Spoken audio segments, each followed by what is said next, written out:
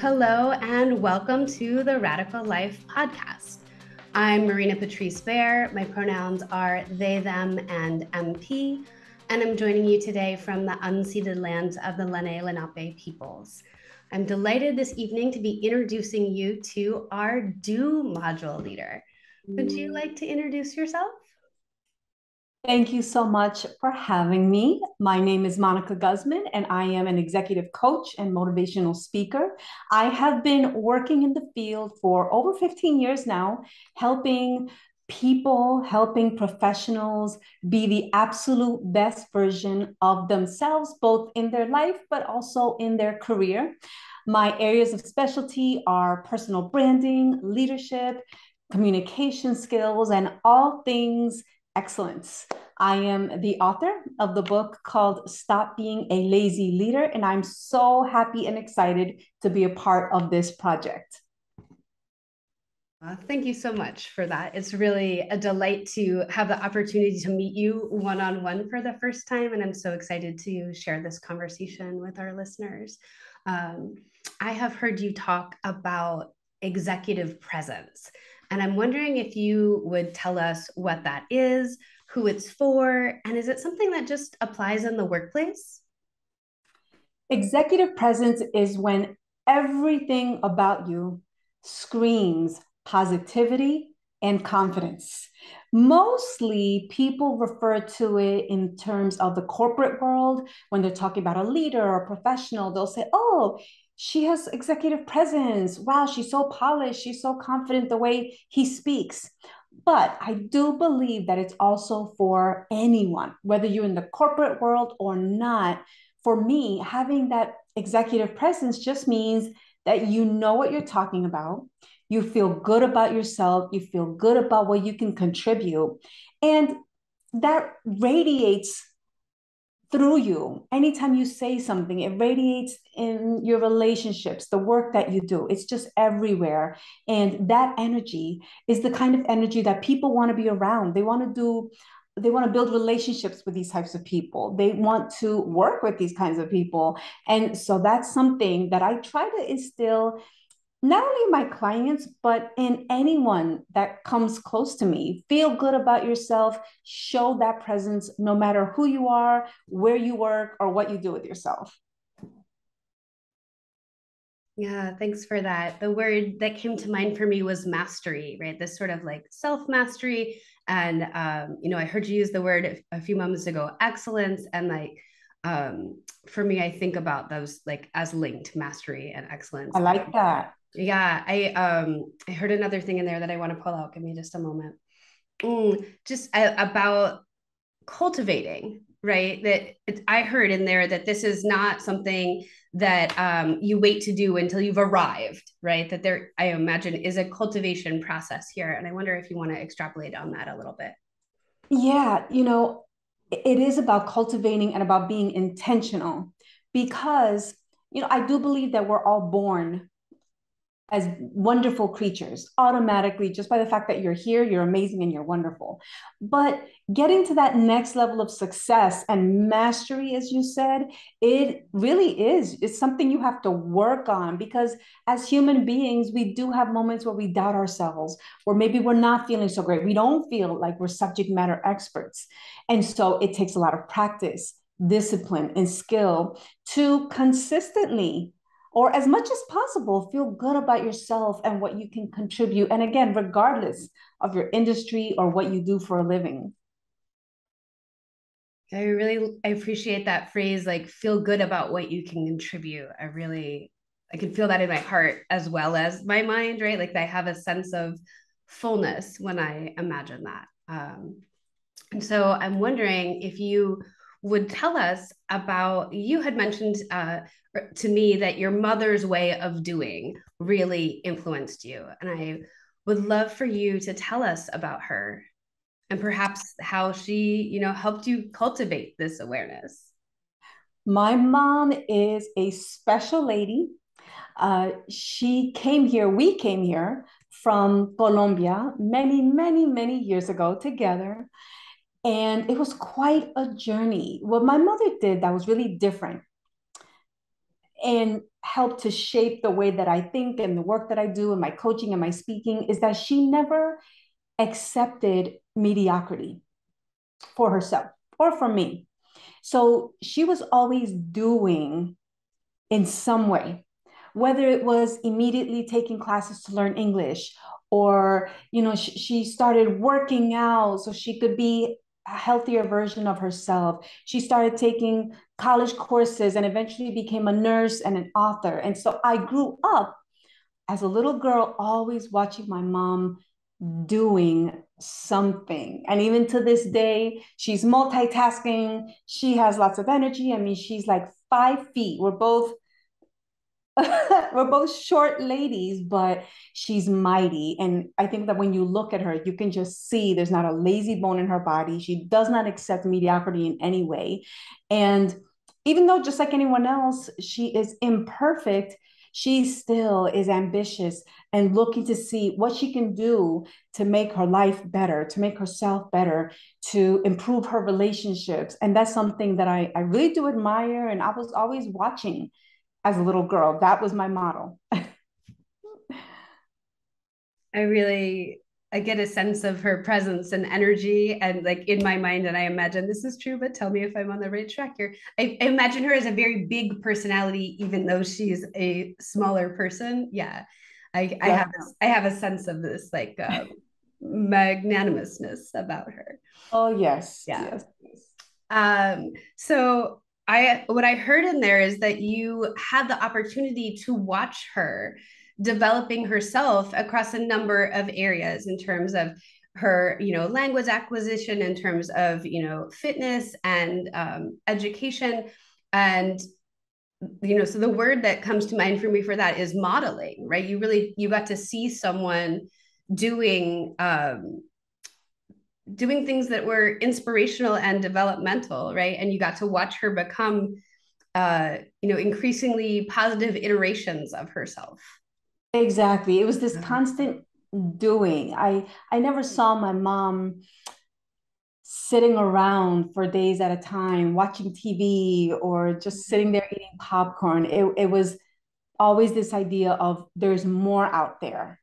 And and I love that because stagnation to me is very dangerous you know whether it's spiritually emotionally intellectually in terms of your career health anything. It's like we have this time that we're being given. Why not make the most of it and constantly be thinking about what's next for me? You know and i do believe there's a balance there appreciating where you are uh, celebrating how far you've come but also consistently and lovingly but firmly asking yourself and asking the world like what's next? What, what, can i do? That accountability piece is important. And that's yet another lesson that my mom shared with me was okay you're in charge though. And throughout my my videos and my modules you can see that it really is about that discipline taking ownership not about making excuses or sitting down and just waiting for things to happen. Really appreciate the balance that you introduced there, right? Of celebrating, right? And appreciating what we have done and also the consistency of moving towards the things you still want to achieve and accomplish. Um, I'm wondering if you have a specific um, memory of an influence of your mother that you'd like to share with us. I, I do. I can vividly remember being about maybe 11 years old we lived in this cute little studio apartment in Newark, New Jersey. And even though we lived in a rough neighborhood, my mom kept that apartment beautifully clean and organized. And I was doing my schoolwork and I got upset because I made a mistake on the paper. And I didn't want to erase it because I felt that the paper looked ugly. It didn't look nice and clean if I just erased it. So I ripped it up and I'm like, I'm starting over. And my mom's like, What are you doing? What's wrong? It was fine. I said, No, it needs to be perfect. Now it looks ugly. I'm just going to start over. And she said to me something that I'll never forget. And that has really served as the foundation for my work and my way of living. She said, Well, why are you trying to be perfect? Why not strive for excellence? And I said, What's that? You can imagine me as an 11 year old rolling my eyes and saying, like, What's that? And she said, Well, you know, excellence is when everything about you represents the best version of you or, or your best work. At the time, I dismissed it. And I said, yeah, okay, whatever. I'm just going to do this again. But over the years, I became a teenager, a young adult, et cetera, et cetera. And I realized that mom was right.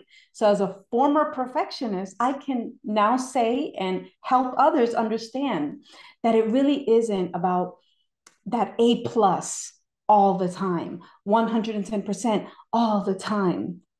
You know, so if we're doing one to 10, like I told my coaching client the other day, did we get to a 9.5 this week? You know, and, and how do you know? Because that's still progress. That's still something to be really proud of. And it's also healthier. You know, you can make yourself sick. I've had times in college where I've struggled with that, this idea of perfection. It's not good for anyone. And so that was so critical for me. And I'm so glad that I'm able to share that with other people. It's not about being free from error or free from any kind of weakness. It's about consistently giving your all, giving your all, giving your all in a way, as you said, that's more balanced and that's healthy, but still um, in, in a way where you're trying to achieve your greatest potential.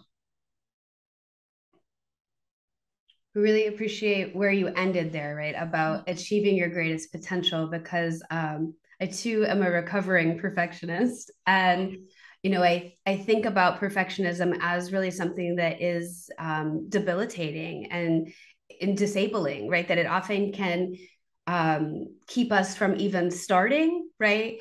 Um, and so this juxtaposition of excellence, I think, is really quite lovely um, and I wonder if you want to say anything more about that as a counterbalance to the debilitating things that can happen with perfectionism.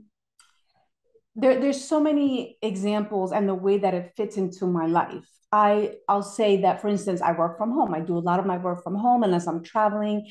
And so excellence for me shows up even in small ways, like the things that I'm willing to be flexible with okay, the dishes aren't done today. You know, I, I want everything to be immaculate and clean in my environment. It's okay if the dishes aren't done today because I went to the gym, or it's okay that my son Nicholas's bed wasn't made this one day. Hey, at least I got to spend some time playing with him. Or, okay, I didn't send that email tonight like I wanted to, but at least I went to bed a little early. So it it always comes back to that balance. And it's hard, it's not always easy for people, for us, for anyone to do that, to say to yourself, wait, hold on. Let me take a breath here. What's good for me? Just as a person overall in that moment, are those dishes really going to make me or break me? Uh, you know, what's important here? And at the end of the day, again, if you can feel like you gave it your all, you're good to go. Flexibility of mind is so important in order to be successful, but also healthy.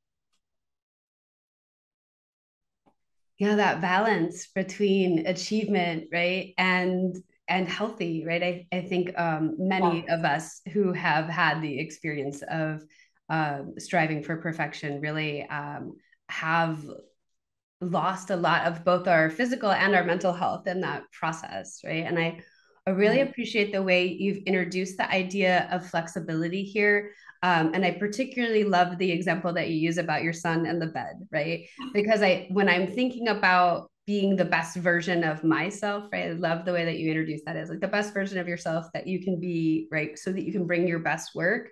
Like some of my best work in the world is my parenting, right? And so if I have the space to bring a bit more play and joy into that role right? I, am just thinking about what a um, what a gift it is to be able to give the people the, especially the young people that we love and care for right? This idea that yes we do make our beds but sometimes we have a pillow fight and you know do something else instead. And we use that time and now we need to keep moving right? And the the yeah the the idea of flexibility for me right now feels like a warmth like it's like a, oh right like there's a, there's a hug there yeah and that there is more um, spaciousness right in order to be who we want to be across areas of our lives. Beautifully stated. Yes. Yeah. Thanks. So tell me what this looks like, um, excellence and sort of doing what this looks like in your daily life, your daily habits, how it comes together for you. I'm very focused, obviously, on trying to achieve excellence, be the best version of myself, not only for myself, but for my family, for, for my wife, for my four, our four-year-old son. And I bring that focus to my day from the moment I wake up to the time I go to bed. That means organizing my day in a way that's very intentional, very organized, and very disciplined. People will ask me, well, to what do you owe your success? And I mean, many things, many things, but one of them, probably top three, is discipline. I start my day with you know making sure that my environment is very clean. As i mentioned these things are important to me. It puts me in the right mindset to be productive making sure my bed is beautifully made that the dishes are done the kitchen is clean all those things that make my environment feel good to me Throughout my day, I am making sure that I'm on top of all of my tasks, that I'm using different methods to stay on top of my things, whether it be a calendar or a checklist, making sure that I am using my time really, really wisely. Time is money, time is energy, time is so many things. It's such a beautiful gift. And I want to make sure because I'm so grateful for every day and every moment, I want to make the most of it. Now, in that doing throughout my day, some might think that they or they might imagine me as just working all day, right? But it's everything. It's everything from cleaning my space to going to the gym in the morning after dropping Nicholas off at school or doing work or networking or uh, stretching or anything, right? It could be anything for me, but as long as I feel like my time is being used wisely. It's I'm doing something that in some way enriches my career. It enriches who I am as a person, spiritually, mentally, physically, anything.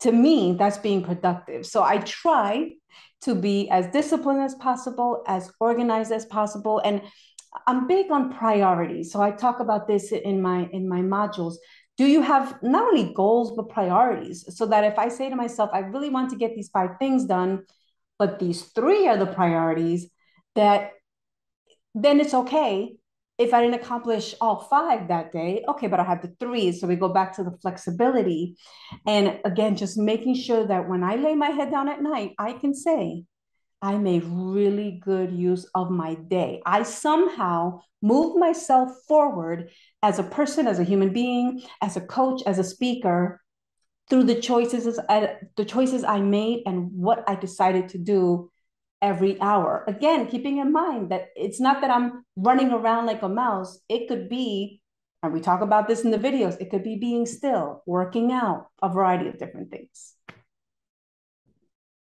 oh, I heard several things in there and I'm trying to decide where I want to start.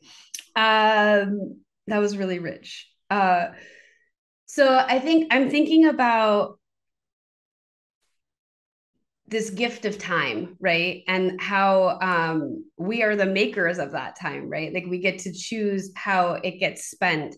And one of the things that I heard in there was this is not the word you use, but the word that comes to mind for me is our values, right? It's like, you know, so I've heard that like a clean environment and orderliness is something that you value, right? right? And so you're organizing your space in a way that you move best through it, right? And I really I appreciate that.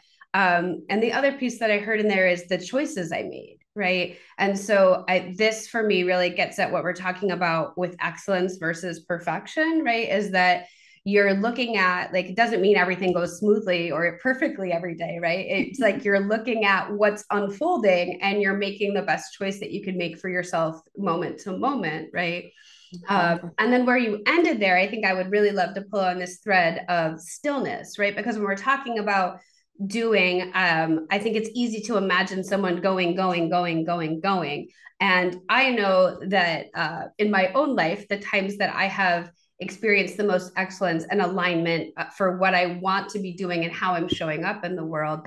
that does require um, a level of care for me that that involves some powering down. And so I wonder if that is an experience that we share or if there's anything else that you want to say about that. It, it is. It, as an inhuman, excuse me, an imperfect human, I do struggle with that sometimes, like many people do, where I I chase success and sometimes I have to force the little Monica in me to slow down. And, you know, there's no shame in that. For anyone that's listening, you know, don't ever assume that people that are your mentors or coaches or people you look up to that they don't struggle sometimes, right? And it's important to acknowledge it that's something that I find to be so important that I continue to work on. It's finding those moments where I am still, where I can do some deep breathing, where I can stretch. I've gotten much better over the years, but it wasn't always that way. There was a time when I felt guilty when I was not moving physically or when I wasn't, quote, working from dusk till dawn. And it took a while for me to realize the power that comes with some of those moments of stillness but it wasn't always the case. It just wasn't. And so i encourage people if that's your struggle that that that was definitely an area for me. Don't give up. You can redefine what doing means for you at any moment. You're evolving. It, it's a skill like anything else. Uh, i really i appreciate that share. And i'm just i'm thinking about how much we're rewarded right for our productivity. And like really um for me it had been it became a thing that i chased right? It was like oh i've achieved this and now by doing doing right? Um right. and it mm-hmm. was um i mean i would love to say that i came to rest just because i recognized its importance but really for me it has been um multiple times in my life around burnout right? It's really it's like hitting that edge. Um and i really i resonate with this idea of feeling guilty like slowing down and you know um, i think one of the things that has been important for me is redefining what um, what productivity is and then also like how important is it really right? Like for me and i think this has really um, shifted for me over the course of my lifetime right? There really have been places where i'm really intentionally building my career empowering up and then you know, for me, moving into parenthood shifted a lot of what I was doing, you know, work wise. And so I think it's just interesting to consider over a lifetime that like we're always doing something. I would I would argue that like even choosing to rest, right, is you've had to do by making the choice to stop. I don't know if that like right, you're still Absolutely. doing something in alignment even when you stop. It's right? choice yeah, yeah. but just uh, what's coming to mind for me right now is just this way that our um, our values and our priorities shift in different times and phases of our life. And so i will circle back again to this word that you use excellence because i think it really does allow me to think about what's my best expression of myself. And um, in this moment too I'm, I'm realizing that when i say it it also helps me uncouple some of my like productivity and doing from my worth right? Because like there is already like an inherent excellence in us right? And it's begging to be expressed and like be in vibration with us. Exactly. Um, yeah. Exactly. we're naturally born with it. And so we do have to look at how we connect our self-worth to our doing. Um, and, and again the balance the balance achieving excellence. And self awareness, realizing again what's important to you, not feeling guilty about what's important to you. Maybe going to sleep early or on time is important to you. I know it is to me. You know, I, am not necessarily a morning gal. And so going to sleep on time every day is important. Like you said, your values and not apologizing for that ever, ever, ever. I really love that. And I'm just going to I'm gonna send it back to you for a moment, just as like unapologetic about our values.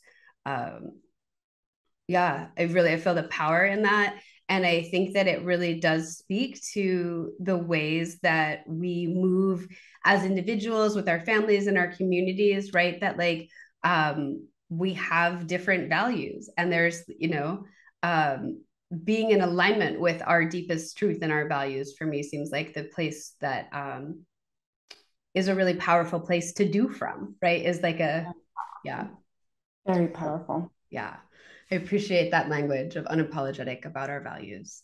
Um, I think I would love to shift a little to an idea that you introduced, which is um, the five words right? Or the five traits that you hope people will see and recognize in you um, and name about you when they're speaking and describing you. Um, so I'm curious what those words are for you. And then also, I would love if you would talk to us a bit about how you're cultivating them, you know, through the way you're living your life. Absolutely. My five words for myself at this stage in my life, because they can change and probably should change depending on what you're going through in life and where you are. Uh, kind, polished, successful, motivating, and confident. Kind is very important to me because I do believe that if we were just nicer to one another, the world would be such a better place. And it's something that seems simple just be a nice person be kind you know consider others feelings and experiences and that's so important to me I, I can't be a good coach unless i'm kind i can't speak or inspire other people unless i'm coming from a place of love and kindness. And i strive to practice that skill every day just by being non-judgmental. I have a background in psychology. Uh, prior to doing this work i was a clinician for many, many years where I had to practice kindness with the families I worked with, the individuals I worked with. And you couldn't come in, but in any other way but a place of love and non-judgment. And, and so that's something that is foundational for me. Uh, the other ones are really centered around being successful and discipline and really to me that that excellence and productivity piece which again, I strive to embody just in the way I make choices every day. What I choose to do with my time, what I say yes to, what I say no to, the thoughts I allow to enter into my mind, because to me, that's part of doing as well. And I talk about that in our videos mindset, how powerful our mind is, and what we do with our thoughts and through our thoughts. And I try very, very hard every day to control my thoughts so that they are loving, so that they are non judgmental, my own thoughts, so that they are uh, focused and disciplined. And anything that comes in there that's not going to help me achieve my goal, well, it, I consider it uh, mental garbage. And it's about either somehow transforming that thought or getting rid of that thought because there's just no time for it. I try to live a very disciplined life, as we mentioned many times, with uh, a sprinkle of flexibility so that um, not only so that people can see me as kind, but so that I can be kind to myself. I think that if someone were to just watch me or follow me around with a camera all day, they would see someone who uh, is kind, uh, cares about what people think, and, cares about people's happiness and comfort, but also someone who's definitely a go getter, who's doing things, who's not a quitter. And you would see that again in the work that I do, how I move, how I present myself, etc. I really enjoyed where when you took a turn there about, you know, with yourself as well because I really um, I appreciate that the things that we're cultivating that we want other people to see in us, we also need to be like watering in ourselves, right? And like, you know, planting the seeds and then helping them grow. And I'm I really, especially with kindness, right? I'm thinking about how um how it's work sometimes right? Like it like if we're being honest right? Like being non-judgmental often involves an entire internal dialogue of like i notice i'm judging now. I need to stop like you know right? Like and exactly like a whole dialogue that like takes some space and some energy. And so you know, um, just especially this idea of turning kindness back on ourselves, right? And um, nourishing ourselves with the same things that we're, you know, offering out into the world feels really important in there. I also um, really appreciated the way that you talk about being, I'll call it being responsive to your thoughts, right? Like noticing if they are moving you in the direction that you want to be going. And if not, like course correcting and figuring out what you can do to sort of put yourself in the mindset that you want to be in in order to do the rest of the things that you want to do. I also heard in there this um, important piece around choice, right? The choices that you're making. Um, and again, I'll use the language of like alignment there, right? Like, are the choices that you're making feeding this person that you want to be in the world? And, you know, I heard you say, especially choices around your yes and your no. And I'm wondering if there's anything that you want to extrapolate on there um, both just specifically with that, but I'm also thinking in um, in terms also of your values and how you um, weigh and make choices with your yes and no. We can't say yes to everything, and people that are former perfectionists tend to want to say yes to everything. It's just not possible, nor is it healthy, in my professional or personal opinion. And there's strength in being able to say no. There are people who are listening who might say, I feel guilty saying no to people, especially if it's someone I love or care about or work with. And it has to stop. It just has to stop because that inner voice, if you really listen closely, it will tell you what's good for you and what's not, and, and where's your limit. I just had to say no yesterday. Someone reached out to me about giving a big keynote in, in another state uh, this Friday. Talk about last minute notice, you know, but I had other, could I have fit it in? In some way, yes. But but what at what cost? At what cost to my other responsibilities, to my uh, physical health, I travel enough as it is. And, and so again, hard choices we make in terms of our career, our life, our health. And I had to come to a place of peace with that and say, you know what? Thank you. Think of me for next year. Uh, if there's some flexibility, we could do this. And that takes work. Being able to get to a point in your life where you can comfortably and confidently say, Thank you so, so much. I'm going to have to decline or I'm going to have to pass, but, and being okay with just that. That unfortunately, I cannot commit to that. There's so much strength in that. And you could say it with a place coming from a place of love, but in a way that's very firm. Uh, so, so that yes and that no, even that with that, we're being disciplined and strategic, and there's a strategy there. Is this bringing me closer to my goals, or is it hurting me, or potentially hurting me?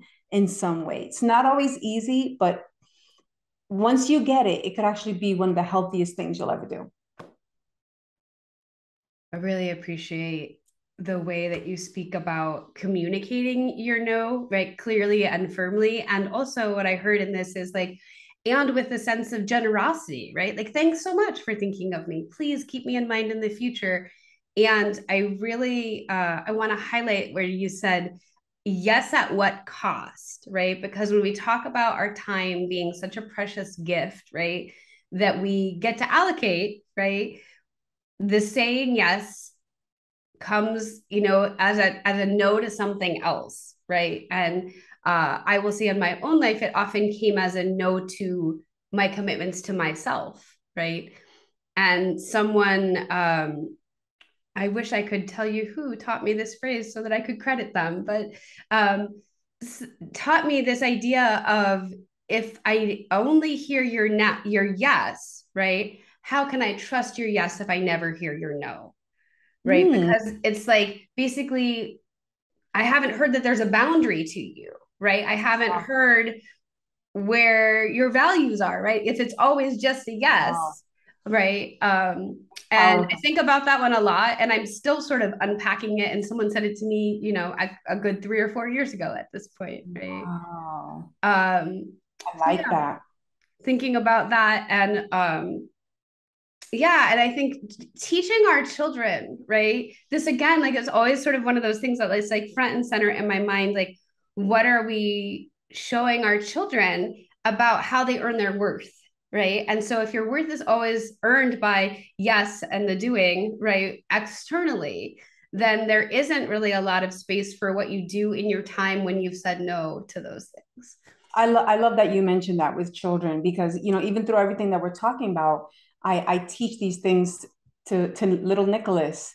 And aren't we all a child inside anyway right? We we so freely share these lessons with our children and we want them to be successful and disciplined and balanced but then we forget about doing that with ourselves. And so i'm um, thank you for that because you know I, i'm hoping that not only are we learning these lessons but that we're able at some point if we're not already doing so able to teach them to our children i um yeah i'm just i think for me also i'm back to this idea of kindness and um, i feel like i have gotten so much kinder to myself by interacting with my children right because i think about the way that you know i i speak to them right and if i hear myself talking to myself in a way that i wouldn't want to talk to my children um, exactly.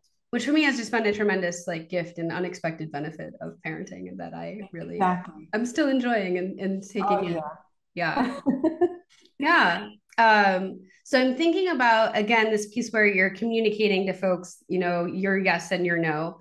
And I am wondering if you would share with us a little bit about your communication style, maybe um, the other people closest to you in your life, their communication styles, and um, you know how you navigate when you have a different communication style or a difference of needs we definitely have different styles in this household. It's funny because i talk about the styles in in our videos in my videos and you know we have the direct style we have more of the easygoing friendly social style we have the um, considerate more loyal style we have a systematic style that's more technical.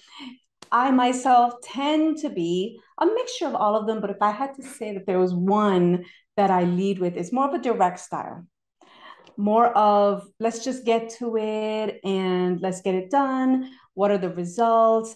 I lead with uh, passion, etc. Now, my wife and son are definitely more systematic. If we buy a board game, I'm just ripping open the box and let's dig. Like literally, just the, the box is broken now. And it's like, let's play. Meanwhile, I look over, Mommy, we have to read the directions. Same thing. Both of them reading the directions, and I'm I'm there frustrated, like, come on, let's go, let's do it, let's do it. And so I try to balance it out. Uh, you know, and it's and it's about flexibility. And this is such an important lesson, whether it's in your personal life, with your uh, kids or your spouse, but then also at work. Understanding our own natural style, figuring out what other people's dominant style might be, and then meeting them halfway. For me, it takes some slowing down.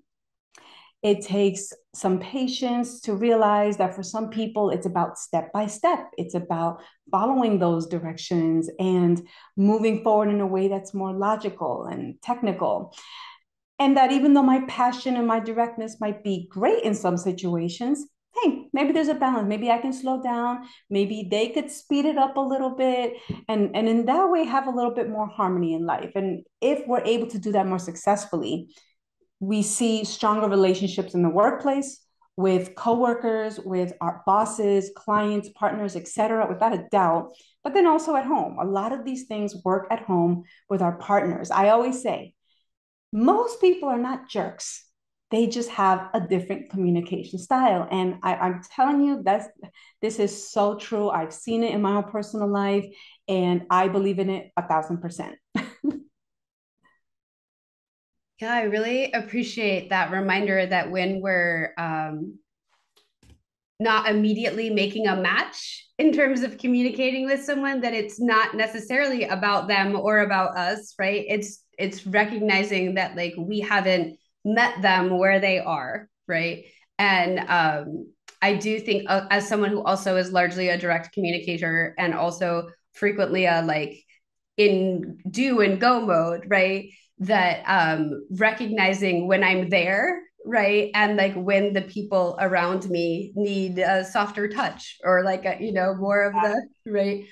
Uh and I, it's interesting. I, I also think about like forms of communication, and I'm thinking about myself right now, where like um, I really enjoy like text or email because I can get out of my mind the thing that I most need to like express and then i can go back and add the greetings how are you? I hope this finds you well right? Which i think is sometimes harder for me to like relay in person um and so you know just thinking about the way that like modes of communication also can really exactly. You see that in everything we do. Just like you said it could be an email it could be in verbal communication it could be the way we show love it's just the way we learn. It comes out in everything we do. It's really interesting. And I think that the relational nature of communication overall, right, really means that it is important that we understand when um, we're not being met, right? And that, like, um, and I, to me, that feels like the responsibility of the person who makes the realization, right? Like, and, and like, hopefully that varies across time and place, right? But that, um, yeah i'm i'm just i'm thinking about in my own life i um, am a very enthusiastic communicator and certainly the way that i grew up talking to people um, if people were excited about what you were saying or whatever they would like cut in and like you know like and like echo and be like yes or like you know finish a sentence for you right because of enthusiasm um and it was not about like rudeness or trying to cut someone off right but both you know um, my partner and my mother-in-law they are much um, more deliberate and like slow communicators in a in a way that I really love and admire, right? But I often I'm like, oh wait, I'm interrupting, right? Or like sometimes I'll even miss that I'm interrupting, and it's like a it's a work in progress for me, right? Oh, because yes.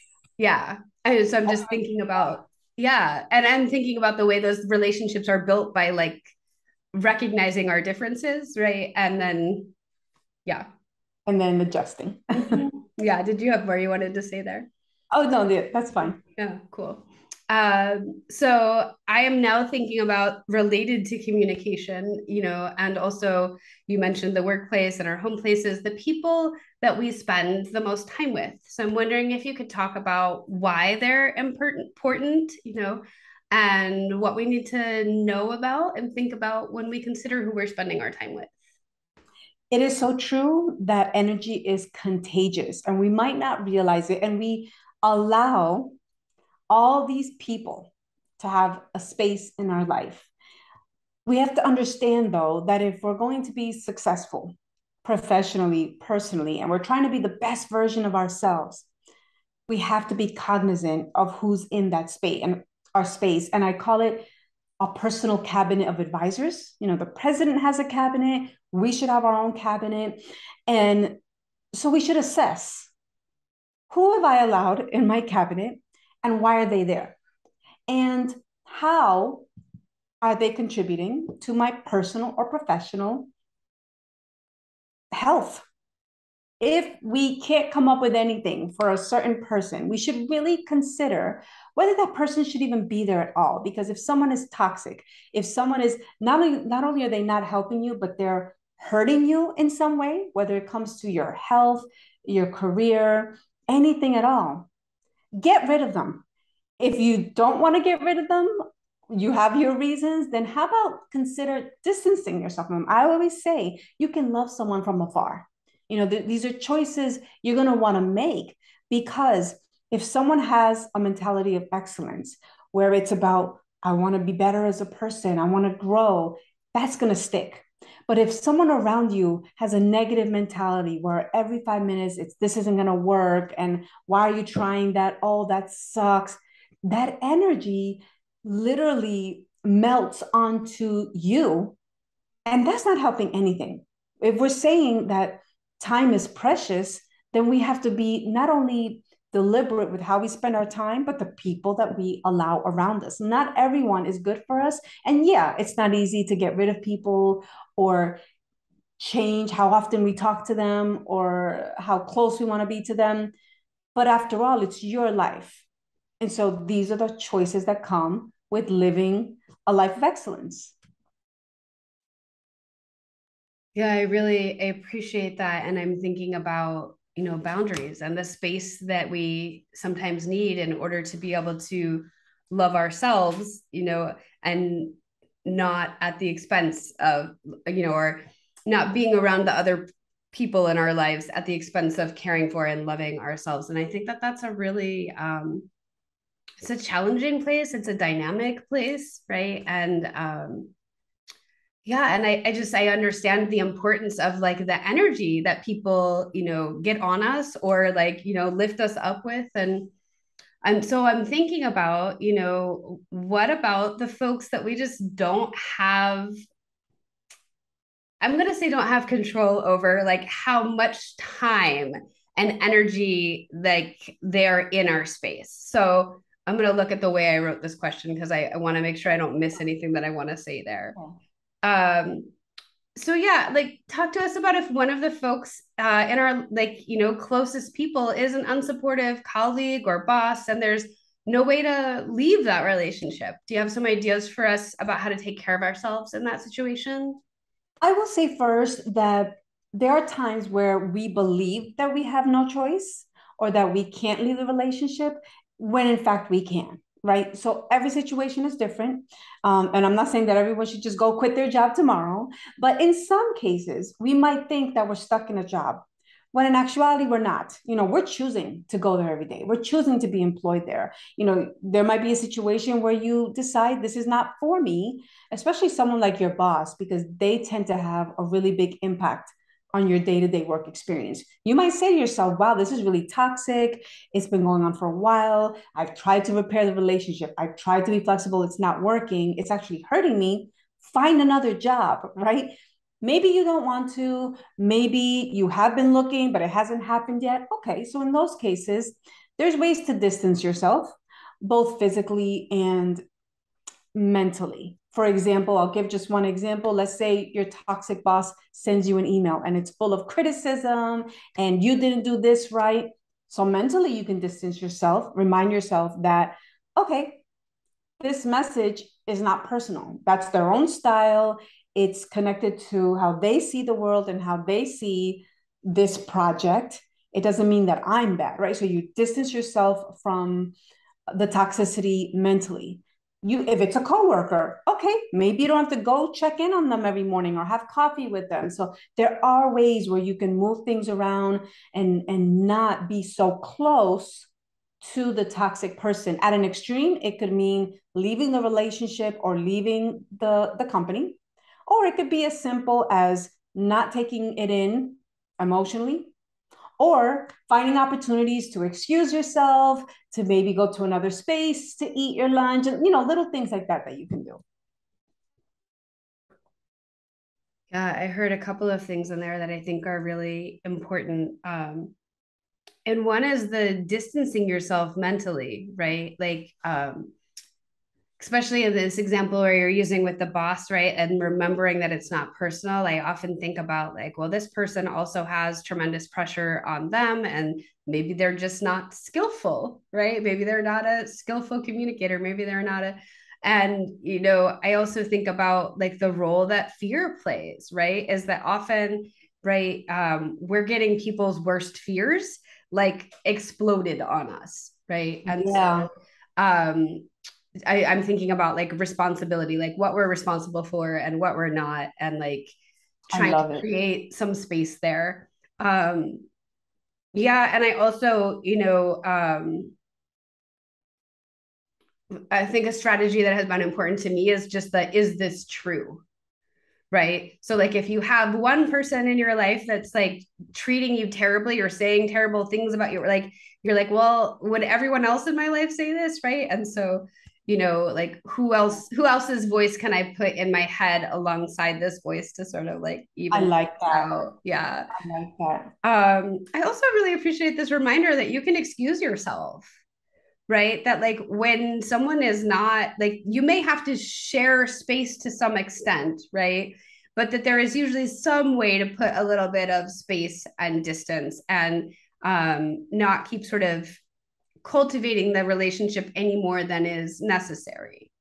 So I appreciated both of those pieces. And, you know, I'm thinking about, um, yeah th- how hard sometimes it is to be kind to ourselves in those situations right to like not tear up ourselves or like take things personally or absolutely uh, we're human yeah, yeah.